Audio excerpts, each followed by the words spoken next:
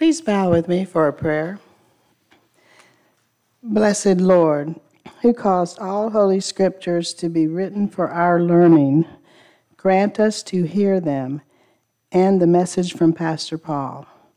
Hear, learn, and inwardly digest them, that we may embrace and ever hold fast the blessed hope of everlasting life, which you have given us in our Savior, Jesus Christ.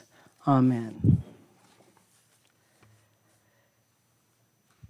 We're in Philippians 4. Rejoice in the Lord always. Again, I will say rejoice. Let your gentleness be known to everyone. The Lord is near. Do not worry about anything, but in everything by prayer and supplication with thanksgiving, let your requests be known to God. And the peace of God, which surpasses all understanding, will guard your hearts and your minds in Christ Jesus. This is the word of the Lord.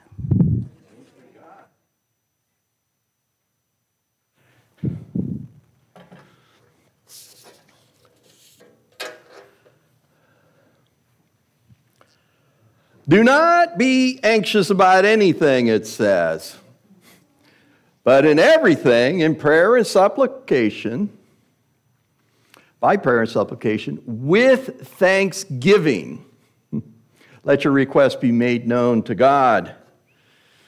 Don't be anxious about anything. That's a big ask, ain't it? you know, I'm kind of wired to that when things don't go the way I want or I can't do anything about something, I find myself getting a little anxious. And I don't think I'm alone in that. And if we look a little even beyond ourselves, as we were praying about, there are things in the world, there's things in our nation, in our community, and in our lives that just ain't right. They are things that we should be concerned about, things that should have our attention rather than hiding under rocks because our lives, the lives of people that we love and the world around us, do have a lot of very uh, real things that are very real trouble. And we have lots of requests to be made known to God. And I don't know about you, but I start praying for one, and another one comes to mind, and another one, and another one. And if I pause, it's because I stop thinking. Because the moment I start thinking, there is a lot that we have to bring before the Lord. And so many of them are beyond our power and our abilities. Things that we're not capable of addressing, let alone even comprehending sometimes. But you know what? You take Nancy and I, and we go camping out in the wilderness, or let's say after hurricanes, may one not hit us this year, or something at the house breaks, the car breaks. Nancy is always really impressed with my MacGyver skills. I can do a lot. You know, and sometimes a coat hanger and some duct tape is about all it takes. But they only go so far, don't they? There are things that are bigger than us. The world is in great need. And you know what? We only get so many miles on the odometer of our lives. Our physical bodies have an expiration date, and so do those of those we love. Hearts break, great needs arise. We face problems and forces that are bigger than us. But the great news, as we've been singing about, this is our Father's world and we belong to Him. He loves us, He will not abandon us. He's with us in the dark valleys of the shadow of death. He prepares feasts for us in the presence of our enemies, and He promises never to leave us or forsake us. But let's face it, sometimes when we run into these things that keep pounding on us, keep wearing at us, or just catch us by surprise, man, it feels lonely. We feel powerless, that there's no one and nothing. And things are broken, things are wrong, things hurt. Not worrying about anything, however, doesn't mean that we have to solve it on our own. And it certainly doesn't mean that we should bury our heads in the sand and pretend that these aren't real problems. That if we just put on a happy face and sing a simple song, they go away. That's not true.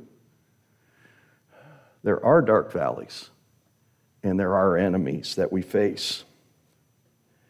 Instead, it says, pray to God and to submit ourselves to God, to let our requests be made known, and with supplication, with offering of ourselves, even of our wills and our ideas of what the solution is, to offer them to God.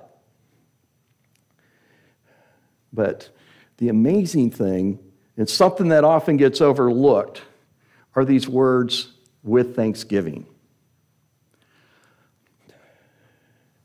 With thanksgiving, let our requests be made known to God.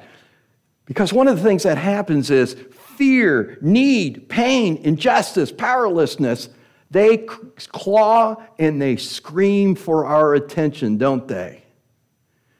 We become fixated on them and they keep drawing us in closer and closer like a whirlpool until they drown us. We even become addicted to them. We get caught up in habits in our lives where we cling sometimes to these things that are painful, these areas of our lives where we, we want to fix, we want to be in control. And when that happens, it blinds us to God's presence, God's love, God's provision, because we're overwhelmed, because we can't do it ourselves. And that's why God says, Let your request be made known. Tell me about them, God says. And not only tell me about them, offer yourself to me rather than trying to do it all yourself because our needs are real. You know, sometimes we whine about little things, but there's enough big things that we need to bring before God that are real. But in that, we're also called be thankful. Because thankfulness is an amazing gift, and thankfulness is not only the result of something happened for which we could be thankful, but thankfulness sounds circular here. But the moment we start to be purposefully thankful, we become aware of even more things to be thankful. And it begins to change our heart and our lives. Because for some reason, when we're caught in the midst of a difficult time, sometimes just saying, God, thank you for that sunset feels difficult because it sometimes, I don't know about you, but sometimes in myself, to be thankful for something when I'm just being crushed kind of feels like a denial of all the pain and all the pressure. But it's not because they are both true. Being thankful is widening the lens of what we seek, not ignoring the problems and not fixating on them. Because we start to think, how can I be thankful when I have so little? How can I be thankful when I'm sick, I'm broke, or I'm badly treated? How can I be thankful when I don't have what all my friends have?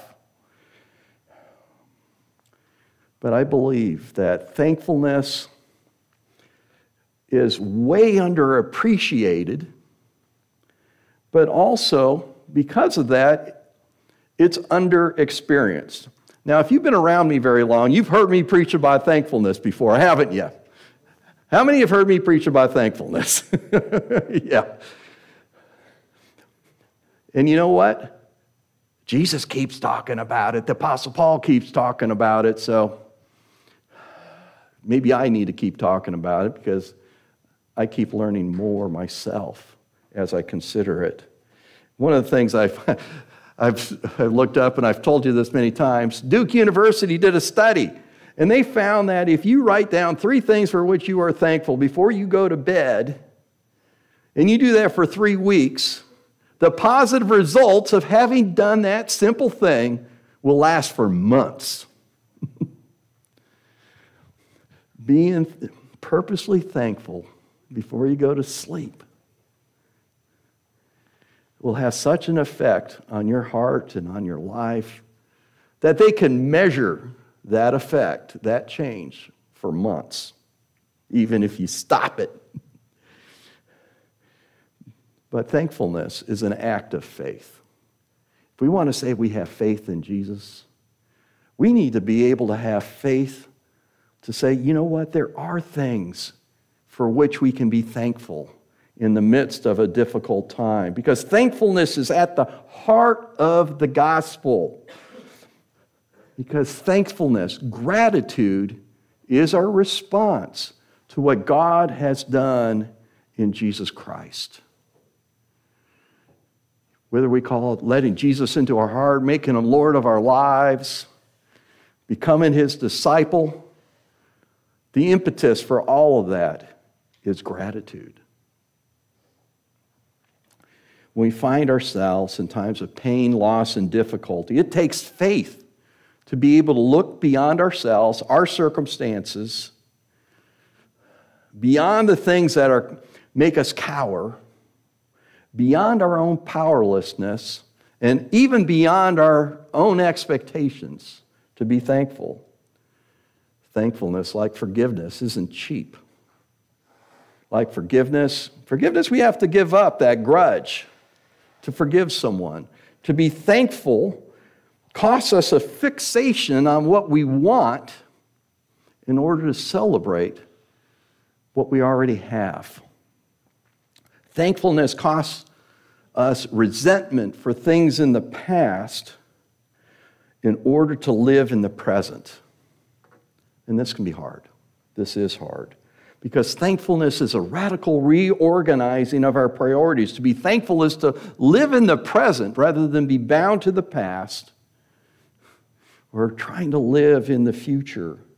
When we're thankful, we can see opportunities rather than impossibilities. When we're thankful, our troubles and difficulties don't go away but they lose power that was theirs, never theirs to begin. when we're thankful, our troubles never go away, but they lose the power over us they should never have had. When we're thankful, we're more likely to see what we can do than what we can't do. When we're thankful, we begin to appreciate what we have rather than just mourning what we're missing. When we're thankful, we even begin to think about what we can give rather than what we need. And you know what? That's what Jesus did for us. Think about it. We're going to celebrate communion today. Jesus sat at that table with his disciples, knowing the cross was knocking at the door knowing that one was to betray him. What did Jesus do? He took that bread, and the first thing he did was give thanks. And what, what was he going to say about that bread? This bread is tasty. My mom made it. No. This is my body, which is broken for you. He took the bread and he gave thanks. If that doesn't blow your mind, you're not thinking about it. he took the bread and gave thanks. In fact, one of the words Christians use for communion, the Lord's Supper, actually means thanksgiving that his broken blood, his shed, his broken body, his shed blood means thanksgiving. The word Eucharist. It's a Greek word that means thanksgiving. And Christians around the world call our coming to this table a Eucharist, a thanksgiving, a thanksgiving in the midst of the one who is without sin taken upon himself the sins of the world. For God so loved the world that what? He gave his only Son. We give thanks for that. But Jesus, not for our sake, but because of our need, offered himself for that. And he didn't give thanks for it in a denial of the pain, but knowing the pain that was about to be inflicted upon him, giving thanks even in the light of his broken body and his poured out blood. I'd like to take just a couple seconds here for to give you an opportunity to just name a couple things for what you're grateful. And you know what? It could be as simple as I thank God it's not as hot today as it's been. What are some things you're grateful for?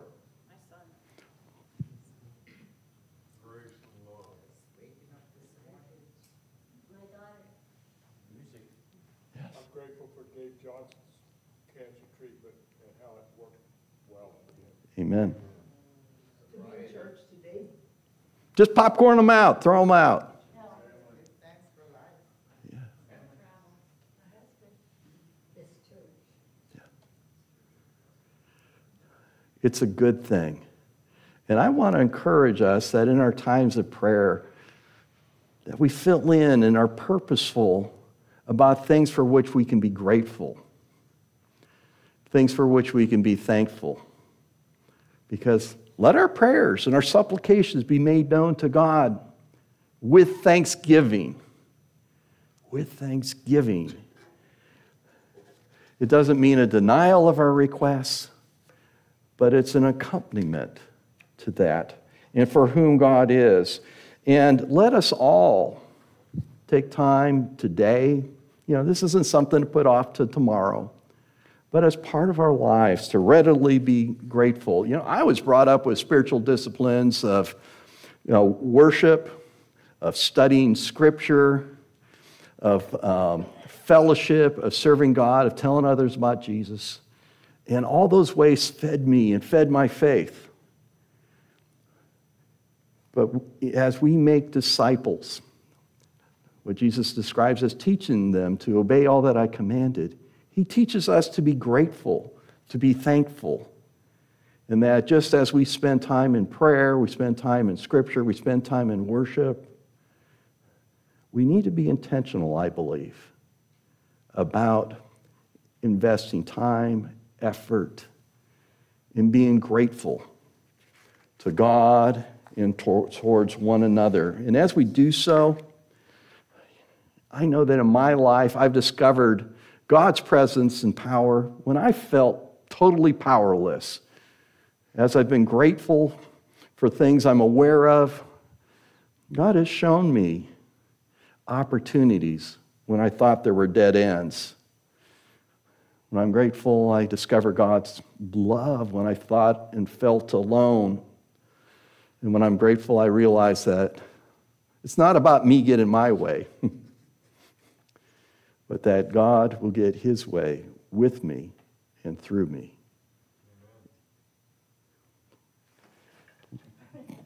Amen. And that's it. Are we willing to say amen to that in our hearts, in our lives, and to live it? Amen.